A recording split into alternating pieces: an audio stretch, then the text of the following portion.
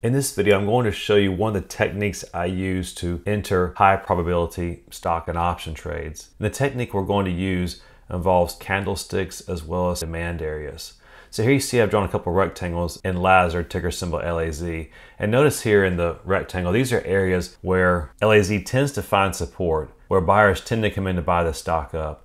So if we were looking to make a new option trade, as it approaches the areas in this box, those would be prime opportunities to sell some new cash secure put options. And on the other side, we see in the upper part of this trading channel that when it reaches the area around 36 or $37 per share, sellers tend to come in and sell the stock off. So we know those are ideally not the areas where we'd like to enter new cash secured put options. Now I want to talk you through an actual trade we did in LAZ to show you how this worked out for us. So let's focus in on this section here in November and December of 2022. Now the actual trade that we did can be seen here in our Patreon alert. On December 28th, we sold to open the LAZ January 20th $33 cash secure put options actually pocketed 50 cents per share. So let's see why I felt comfortable entering this new cash secure put option on December 28th. Now we're back on our charts here. We said December 20th was right in here. So notice that it was right around this area that had previously been serving as support for it. Now I typically don't like to do boxes. I typically like to do support and resistance lines. So if we take our box out and keep our support line here, we see that Lazard had gone up in price from around $33 per share up to $40 per share. Now it was retracing and was approaching this area that had previously served as support for it here in early November and again back here in early December. So we saw that it was approaching this area again, so we're more than comfortable selling a new cash secure put option in Lazard. So as you can see here on December 28th, Lazard was trading for around $35 per share. To give ourselves a little room to be wrong, we decided to go ahead and sell the $32 cash secure put options, which will be just below that area that has served as support for it back in December. Well, how did this trade turn out? You see what happened with the chart. Lazard advanced nicely over the next month until it topped out towards the end of January around $41 per share. So we entered this trade on December 28th. We sold the January 20th cash secured put option, which expired right in here. So you can see, although Lazard did decline two days after we entered the position, from that point on, the stock went our way. We ended up just letting this position expire worthless. So we got 100% profit on this position. Let's now look at another example of how supply and demand areas can lead to some high probability trades. Now I've switched the chart over to Broadcom, ticker symbol AVGO. On January 10th, Broadcom had come down to this area that had previously served as support for it, around 550 to the 540 area, represented here by the white box. This is an area that buyers tend to buy the stock up, as you can see here. They did it on December 20th, again on December 28th, and even on January 5th. So fast forward to January 10th, the day we entered our trade, and we found Broadcom back down in this area that buyers had shown interest before. So I felt comfortable selling a cash secure put option in Broadcom. So here you see the live alert I sent out to my patrons on January 10th when we entered this trade. Notice that we sold to open the AVGO February 17th $520 cash secured put option. We bought for protection the pretty far out of the money 350 put option. And that was just to protect us in case of a black swan event.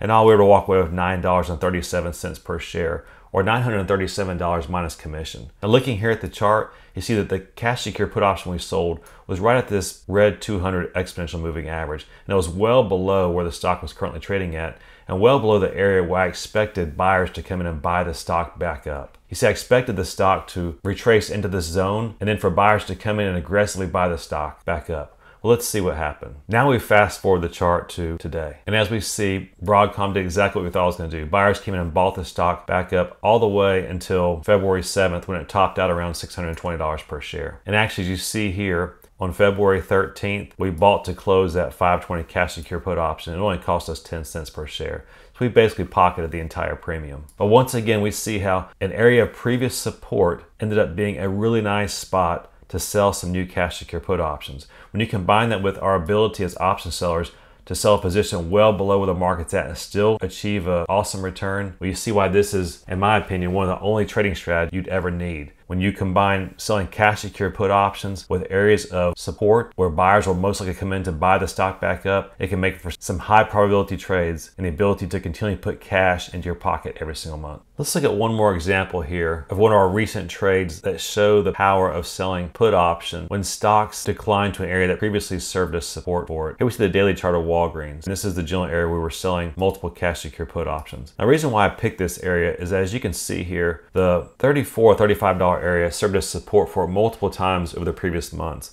It did it back here in September. It also did it right here in November. And we see that Walgreens had once again declined to this area that had previously served as support for it. Now, one technique I like to use in addition to using areas of demand is to build my positions slowly just in case things don't turn out the way we planned. Here you see that we began to sell cash secure put options on January 6th. There we sold one contract of the Walgreens February 17th $35 cash secure put options and actually were paid 88 cents per share. So looking at our chart here, let me see the candlestick that corresponds to January 6th.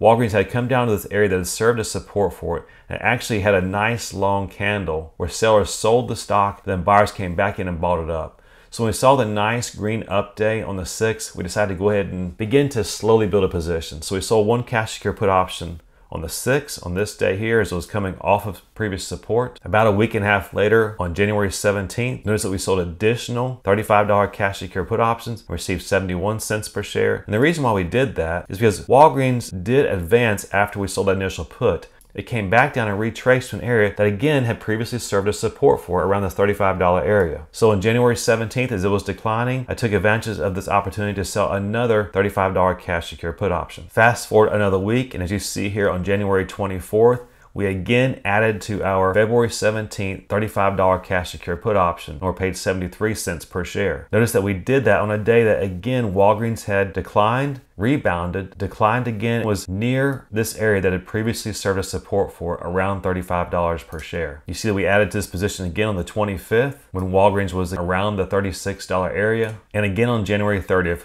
we sold two more contracts of the Walgreens February 17th $35 cash secure put options for 39 cents per share. Notice we did this on January 30th. And here we see again, we did this on a red down day after Walgreens had advanced and it was declining again. Well, how did all these cash secure put options turn out? Remember, we're selling the $35 strike price, which is represented by this white line here. So as you can see, Walgreens repeatedly came down to this area that had previously served as support for it, and areas where buyers were excited to buy it. And every time it did, we'd sell cash secure put options against it. It ended up trading sideways over the entire period that we sold these cash secure put options. So this past Friday on February 17th, all the $35 strike price put options that we had sold expired worthless. Why does this strategy work? Why does selling put options when a stock is declining and approaching an area of support work? Well, the simple concept is that these areas are where buyers begin to get interested, and more specifically, where large institutional buyers begin to get interested. By aligning our cash secure put option positions with an area that big buyers have repeatedly shown that they will buy the stock if it reaches that area, well, it drastically improves our odds odds of winning our option trades. So basically what we're doing is we're following big or smart money in their positions. We're looking at what areas they get excited to buy at, and then we're selling our put options just below or right at those areas of support or right at those areas where they demand the stock at. As you see with Walgreens, sometimes if it's an area that I'm a little uncertain about, like I was with Walgreens with the big decline, then I actually build those positions slowly just to make sure the stock doesn't continue to decline. For example, there was the possibility that Walgreens could continue to decline to the area that had served as support for all the way down around $31 per share.